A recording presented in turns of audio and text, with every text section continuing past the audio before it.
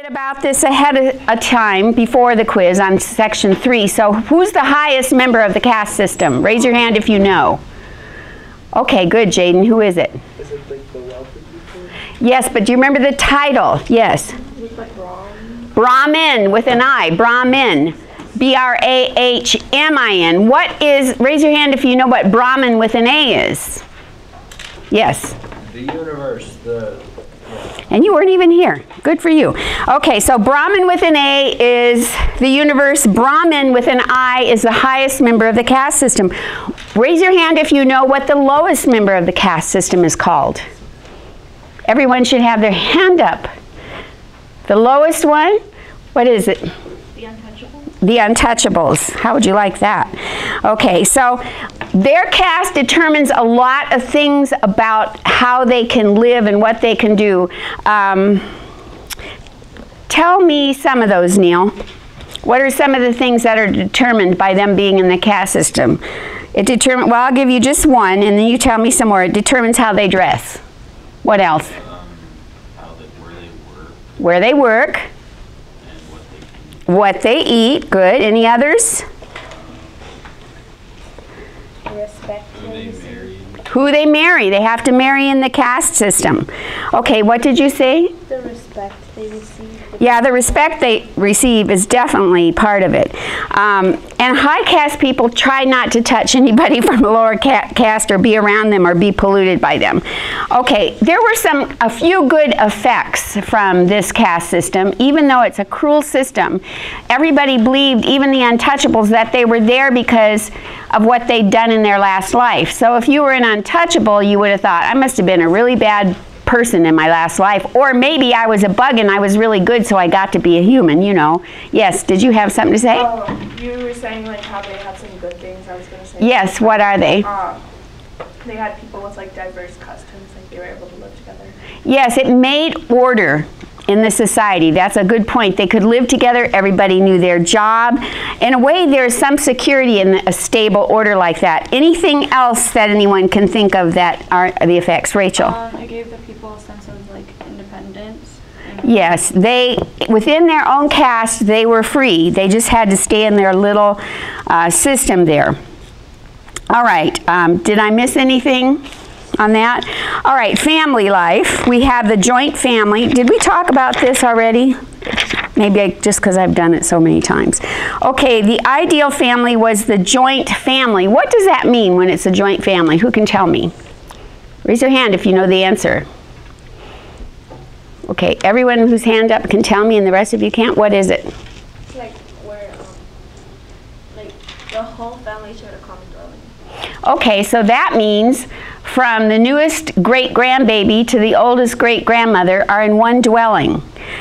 Uh, what would be good about that? What do you think would be good about that? The mother would have lots of help. Yeah, that's for sure. That's good. Is that what you were going to say? Um, I think one of the good things about it is you wouldn't be so narrow minded in your understanding of different ages because you would see everyone from a baby to an old person. Remember, I was talking to you about how um, in our culture, young people treat old people a lot of times like they don't exist unless they're related to them. You know, they just kind of look right through them. Um, you would be taught respect for the elders, but you would understand every age. And a grandma who can hardly do anything else can still maybe help hold the baby or sew something. So everybody can do something to make the family work, and you have an appreciation of all age levels. Um, but the hard part is you have a lot more chance for disagreement and argument. And that's why there has to be some sort of hierarchy in the system of who calls the shots. Does it tell you who does that in this joint family? Right, the father, there has to be, because think of that many people living in one house. There's going to be disagreements, right? You have to have a judge, and he's the judge and jury. He decides, he stops it, and you've got to obey. Okay, children and parents. How did parents and children relate? Children are taught to respect their parents from an early age. Yes, they were taught to respect their parents, and as soon as they were old enough, the children worked right alongside the adults. Did you have something to add to that? Well, like it said, like the when girls are little, they were like taught how to become like wives. Yes, they started wife training when they were little. And unfortunately, wife training says it was to serve and obey your husband, which isn't bad if you have a good husband, but I don't know about if you don't. Um, what was one of the most important duties of the parents? To arrange like a good marriage. to arrange a marriage. Now, I was talking to someone who had an arranged marriage once, and I said, "Oh, that's so horrible. I would I would hate it." And she goes, "Why?" I think it's the, she she was young. I mean, she was like in her 20s and she had had her parents pick her husband. She says, here you leave it up to the kids and they're too dumb to know who to pick anyway and half the marriages in this country end up in divorce. She says my parents know me well.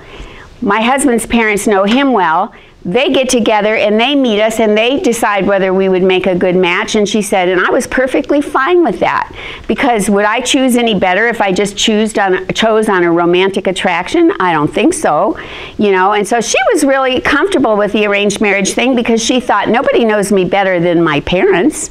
And they know what i need and what kind of personality would, would work with mine. Well if all the parents were as conscientious and careful as hers. And she said besides if in arranged marriages if you really resist and say, I just can't marry this person, the parents, most of the time they will go along with that. So I thought that was interesting to hear a young person defend arranged marriages because our attitude when we hear arranged marriage, what do we all say? Oh, yuck, that's awful, right? We say that, but she thought it was a great idea. At best, though, in this culture, it wouldn't be a mistake to get your parents' approval on who you choose to marry.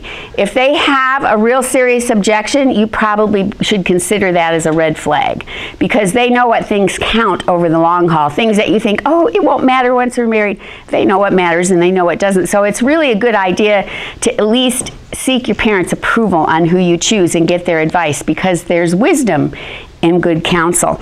Okay, women's lives, like I said, in the Aryan time, they had more rights, but those got away, got lowered. Okay, let's look at four because I don't think we've talked about this, and this is so interesting.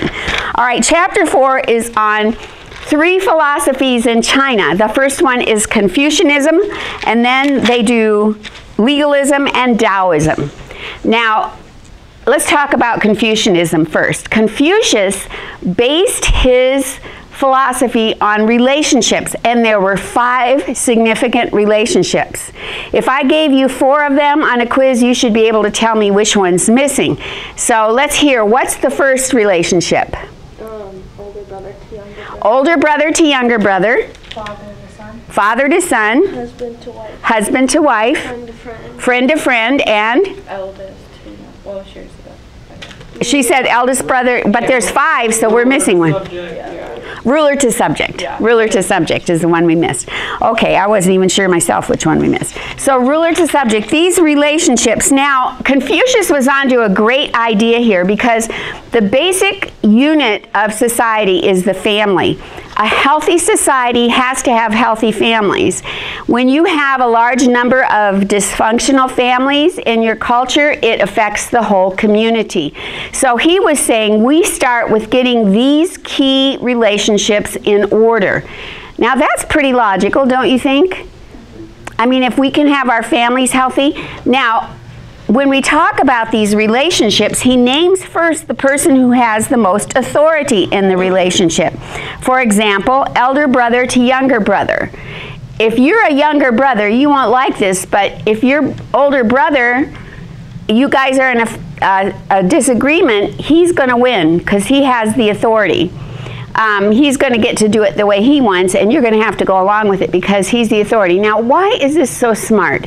Um, because let me let me apply it to a marriage because I've had 40 plus years experience with a marriage. So um, when a husband and wife disagree on something, they absolutely cannot come to terms, which in my marriages only happened once or twice where we couldn't at least come to a compromise. But if you get a deadlock where you absolutely can't agree, someone has to be pre-assigned to make the final decision. Otherwise, you could argue about it for eternity and never get the job done. So when you are locked 100%, I want it this way, 100%, I want it this way, someone has to be pre-decided to call the final shot so that the family can continue to function without arguing.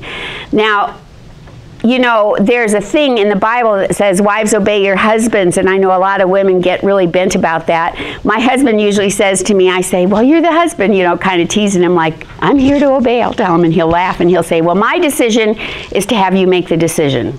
Oh, That's what he'll tell me. So, but usually anything we disagree on, compromise is a good thing. But if there have been a couple cases where we've just come like this, I have said to him, Okay, you're going to make the decision. And he doesn't like that because that's a lot of responsibility. What if he decides wrongly? I mean, it's real nice to be the one that doesn't make the final decision because if you make it and you're wrong, you're kind of like, oh, I should have done it the other way. So, you know, that's not a fun position to be in either.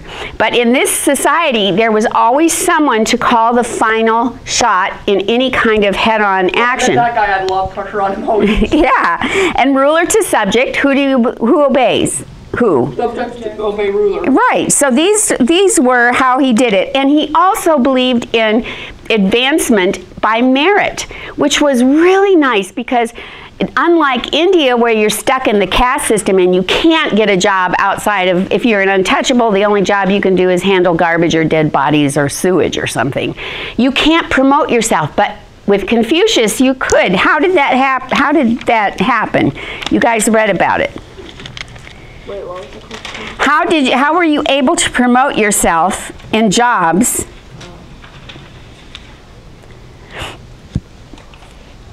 If you were um, following Confucianism. Did it tell you in here? I think it did. Well, I'll tell you. I don't see it. Anyway, you could take civil service exams, you could study really hard, and you could get higher positions. So, unlike some cultures where you can't have, in India, you could only have jobs in your caste, or in early um, England, you could only have jobs um, if someone chose you. It didn't matter how good you were. If you were royalty, you could be a general in the army, but if you weren't, you'd probably never make it. So, there was all that kind of thing. Or think about kings when they have uh, inherited rulers. You know, so I'm the king, and my son is the next one to be king, and he's an idiot. You know, maybe he's even retarded, but he's the next king. That doesn't really make sense, and it has happened. So, um, you know, my son's an idiot and he's supposed to be king next. I'm a little concerned about that. But in Confucius' system, you have to earn the right to have your position. And that was really a great idea because in that time period in history, it didn't happen very often. Now let's look at legalism. Uh, legalism grew out of the teaching, teaching, teachings of Han Feizi. Han Feizi taught that people needed strict punishment to obey. That was his number one thing. Now to remember how to spell it and to remember what it's about, I always call him uh, Han Feizi. And I say, if you're bad, he cuts off your hands and Feetsies because that's what they did. If you stole something, your hand was cut off. If you, the punishment was really what we call legalism. There was no exception. If you did this thing, what if I picked an apple up out of the middle of the road and no one was around to claim it, but then somebody came running back and said, they stole my apple because it had fallen off their truck. I'd get my hand cut off. I couldn't say, wait, I had no excuses. I couldn't say, but, but it was all by itself. I just picked up Nothing. Legalism is you disobey, you have the punishment, end of subject. Boy, just never pick up anything. you That's right. My saying, don't touch a thing. That's right. And you know, it's really interesting because w- his idea was the people should be afraid of punishment.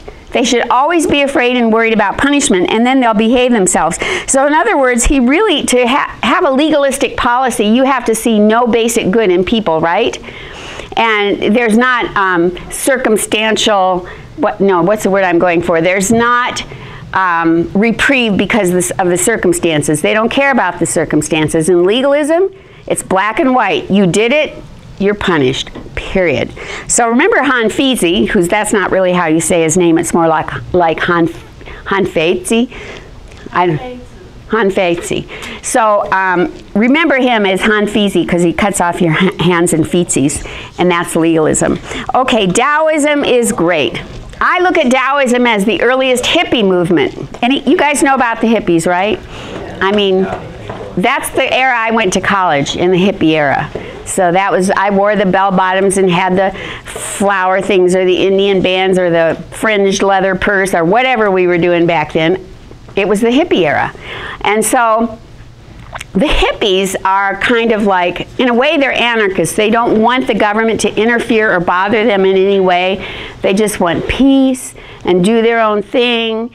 And they're like, hey man, peace, right? That's a hippie. He comes, his, his hair's hanging down, he's got a band around his head and his beat up jeans with bell bottoms and this big wide belt, and he goes, peace, man. Like, woo. Well, this is the Tao's. The Tao's, they're really interesting. Tao means unspoken way, and people who followed Taoism were seeking the way. Well, what's the way? Well, it's the way, man. You know, the way. Hey, find the way. They don't tell you what the way is, but that's what they're seeking. Okay, it could be a lot of things. You can put that on yourself. Maybe they'd explain it to me if they were here. But um, it was just seeking the way. And the way was, there was a book called The Way of Virtue. So they were trying to seek something that was right. Um, the interesting thing is that these people believed in, I hope this is in here. I might just tell you anyway. They, um, they liked alchemy. What's alchemy? Anybody know? It used to be really, really popular in this time period. Yes. Has a bunch of like mixing different things together and like. Yeah. Yes, and what they were trying to make was gold. Alchemy was trying to turn base metals into gold, and people believed it could be done, and they were always trying it. Well, the Tao's messed with this, you know. They wanted to be in nature, and they were all laid back, but if they could figure out how to make gold, then they could pay for their, you know, their food or whatever, but they were always doing this. And they accidentally invented gunpowder when they were trying to do this. They invented gunpowder, figured out what it did. So you need to remember they invented gun. Just remember, the Tao invented the pow, okay? Gunpowder goes pow. So the Tao invented the pow. Oh, and it was an accident. But boy, has that made a huge difference in a lot of things, that invention. Does it not tell in here that they invented gunpowder? I'm disappointed. Okay. Guess not. Okay, so that's the Tao, and you need to know they invented gunpowder. So here's what it says Taoists rejected conflict and strife. They wanted to end conflict between human desires and simple ways of nature. They stressed the virtue of yielding. Water, they pointed out, always flows downhill, it doesn't resist. Man needs to go with the flow, man. I mean, that sounds so hippie, right? The, the hippies probably learned their movement from the Tao's. I don't know, but they really sound like a bunch of um, hippies. So, thank you. All right, so then the, um, the last thing, there is an article here on legalism. I hope you read it. It was on page 91. And then they talk about how Buddhism moved to China. It was 100 AD when um, Buddhist missionaries went to China, and Buddhism did catch on in China. Um, so it it migrated to China around 100. At first, the Chinese had trouble with the new faith. Um, like the Chinese tradition valued family loyalty, while Buddhism honored monks and nuns who gave up the benefits of family for solitary meditation. Despite obstacles such as this, Buddhism became popular especially in times of crisis. Um, it has great appeal because it promises escape from suffering. Now, remember I told you there were two kinds of Buddhism. The original, more strict kind called what? Begins with TH. What is it? Theravada. And the more gentle one is called Mahayana. It was the Mahayana version of Buddhism that became popular in China. So that, just to let you know that Buddhism is now moving to China. Okay, so we're going to take a quiz on this, but let me ask you some questions first. Um, who believed that um, an older brother should be subject to, I mean, a younger brother should be subject to his older, that was Confucianism. If I told you this person was working hard to get a new position in studying, to get a new position in government, what philosophy am I talking about? Confucianism again. Um, who invented gunpowder? Okay. Um, what did the Tao especially like? They said they saw their examples of how to live in what? nature. In nature, that's good. All right, and they're seeking, the Tao are seeking what? The way. The way, man. Okay, we're going to find the way. And what is legalism? Yep, strict punishment. Cut your hand off. Yeah, cut your hand off because you stole that. All right, you ran away from your master, cut your feet off. All right, it's strict. It's very, very strict. Uh, so let's try this quiz and see what we can do. All right, in our last um, lecture, we talked about the three philosophies of ancient China that were the most popular. The first one was what? Confucianism. Let me hear you. The second one was legalism, and the third one was Taoism. Taoism was started by Lao Tzu. He was considered the master, and um, it meant I think it meant master, his name, I'm not sure, but he started that. And the Tao was, like I said, very similar to the hippie movement in a lot of ways. The Tao had the pow, man. Okay, to, now we're going to talk about some of the strong rulers of China, and one of the strongest ones was Shi Huangdi, and he he was originally he was called Zheng. Um, who can read setting the scene for me? Setting the scene on page 93. Okay, Maddie? From his base in western China, the powerful ruler of the state of, how do you say that? Just say one or something. rose to unify all of China. An ancient Chinese poet and historian described how Zheng crushed all his rivals. Cracking his long whip, he drove the uni- universe before him, swallowing up the eastern and western Zhou and overthrowing the feudal lords. In 22 or 221 BC, Zheng proclaimed himself Shi Huangdi, or first emperor. Though his methods were brutal, he ushered in China's classical age. Historians call it a classical civilization because it set patterns in government, philosophy, religion, science, and the arts that served as the framework for later cultures. Right. So he started a classic, the classic civilization, and the things that were born during this civilization still influence China today. Now, this guy was amazing. I try to think of here's this guy. He's in this uh, little state. Um, his name is Zheng. But he was fierce. He had to be very strong and fierce. It talks about him driving the universe before him with his whip. And we're going to find out that he was a legalist. And that also takes a very harsh, strong personality.